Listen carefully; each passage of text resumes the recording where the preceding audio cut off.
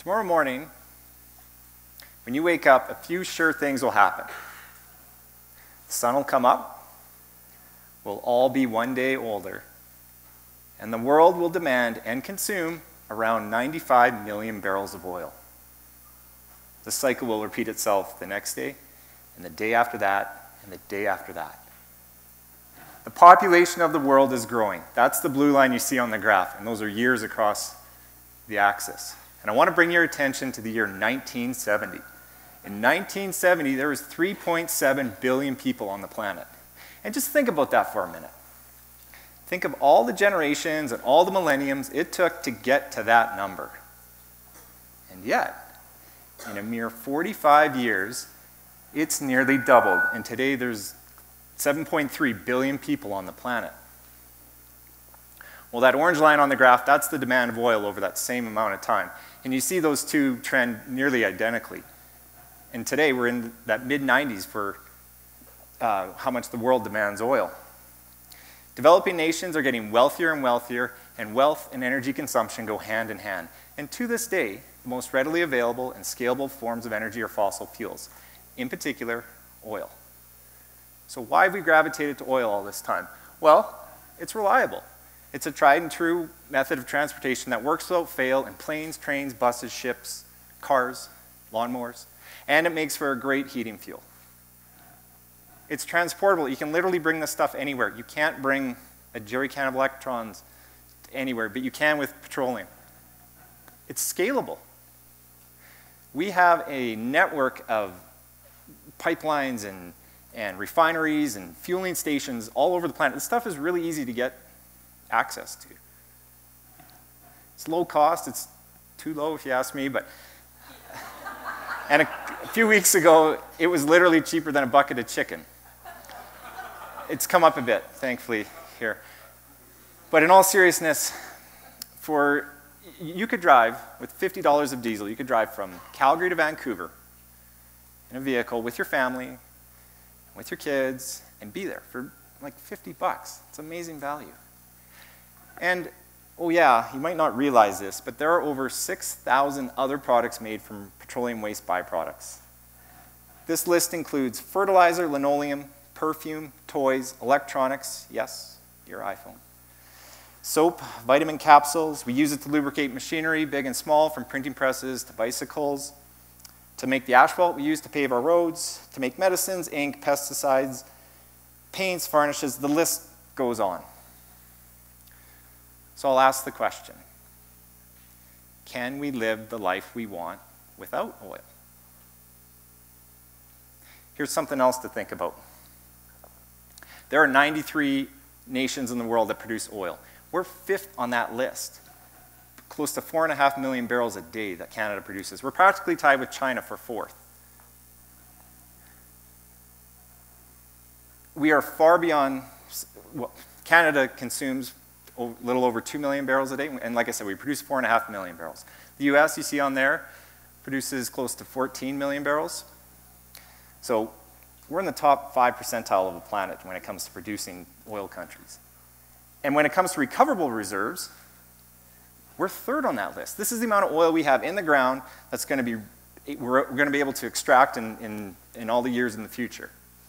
173 billion barrels. We have a lot of oil in Canada.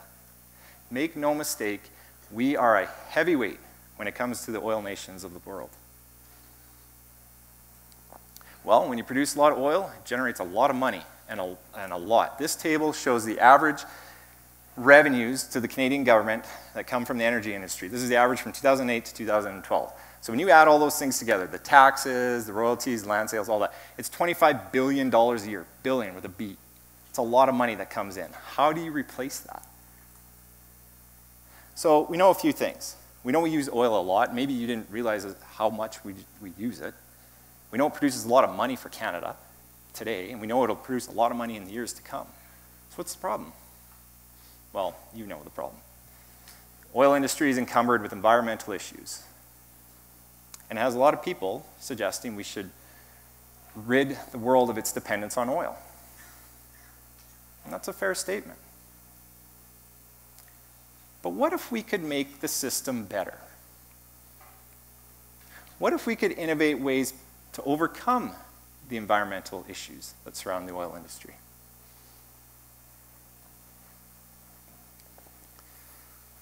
I'm going to give you a few examples. And here's one as a result of raising the standards in, in, emission in our emission standards.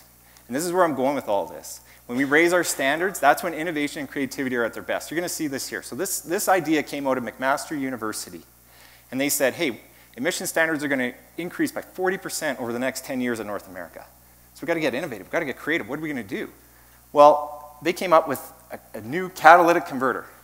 That's a catalytic converter. Those have been mandatory on vehicles since 1975.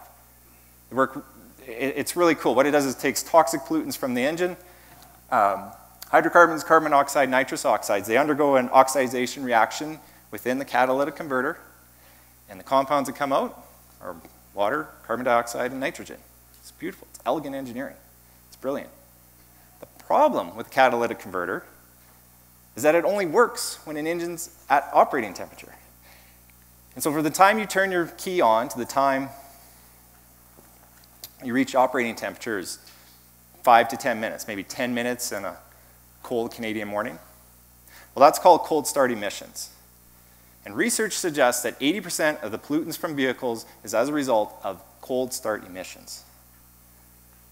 So, this group, the engineering department out there, they said, hey, what if we got rid of that? How could we get rid of that? How could we superheat the catalytic converter. And they got this idea, another technology that exists. It's an induction, same thing as an induction stovetop. We have one of these in our house. You fill a pot of water, put it on the stove, and it literally heats in, in like 20 seconds. It'll be boiling water. It's amazing. It heats things at a torrent pace. This picture shows ice cubes. They're on the burner, but they don't melt. They have to be touching metal. So it uses magnetic energy to superheat things. And they said, hey, let's just put that in the catalytic converter. Get rid of that cold, practically get rid of that cold start emission window. That's brilliant. And how'd that happen? We just raised the standard, say, hey, we got to think, think beyond this, think higher than this. Here's another example. A lot of innovation, we've used a lot of innovation to unlock oil reserves. This is a picture from Huntington Beach, California in 1960. You would never do this today. Look at that, all these uh, oil derricks along the beach. But the point I'm trying to make here is you see how we used to think of developing oil pools where you would drill a bunch of vertical wells and innovation technologies brought us past that. Now we drill horizontally. It's the equivalent of drilling a whole bunch of vertical wells. And we also have unlocked another technology and tried this other innovation called hydraulic fracturing, which has revolutionized the oil industry. It's worth noting that the USA was supposed to run out of oil in the 1960s. Fast forward 50 years, and they were at the top of that list. Remember, they were the biggest oil producing nation on the planet. These two innovations changed everything for them. Well, here's another example. That's, that's a puck of bitumen.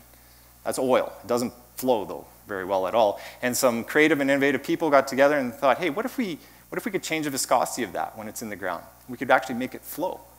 So it's called steam assisted gravity drainage. And you put steam in one well bore, changes the viscosity of that oil so it's able to flow, and then you're able to pump it out. This has unlocked a ton of oil in Canada for us.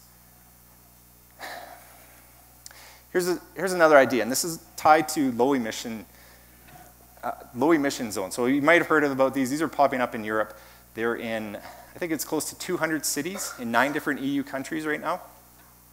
And they're low emission zones. So you, essentially you can't drive through them if your vehicle isn't deemed a low emission vehicle. And you see how this is going to be changing, and, and there'll be more of these, and you see how this will impact the car manufacturers in the years to come. So knowing that we're going that way, that's a good thing, right? We're raising the standards. That's going to force innovation. And when you think about it, maybe it'll force us to even rethink how, we, how the automobile has been developed.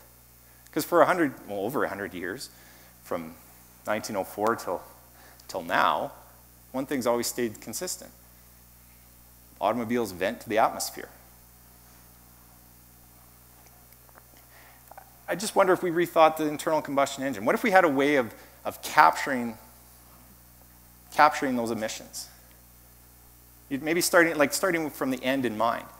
So you say, well, we're going to put fuel in, we're going to contain and capture all the emissions, and maybe we dispose of them at the same time we get more fuel. Kind of like when you go to put water in your RV or trailer. You know, you put your fresh water in, you get rid of the gray water at fueling stations. And, and, and you say, well, well, what would you do with all that carbon dioxide? Well, we use it. We use it. This is good stuff in the oil industry. We use it to inject into the earth. It actually allows us to enhance the oil recovery in the oil re reservoirs that we have. What a cool cycle, hey, to pull, pull the resource out, consume the energy, put the waste byproduct back in, and you're able to get more uh, oil out. That's pretty cool. It'll be neat to see how the future unfolds. I do believe that innovation will allow us to overcome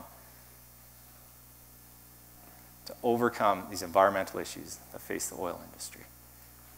I want to encourage you guys.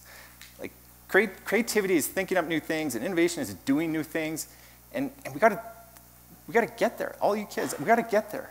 I really like what Albert Einstein said. He said, "We cannot solve our problems with the same thinking we use to create them." So again, I want to encourage all the innovators of today and all the innovators of tomorrow, especially you kids, you young adults and kids out there, to think, to really think. Before you jump from one idea to another, think, how can this be made better? I said it before, innovation and creativity are at their best when we raise our standards. So I'll leave you with this. Let's collectively, let's raise ourselves to a higher standard. Always, always give your best. And let's make the system better.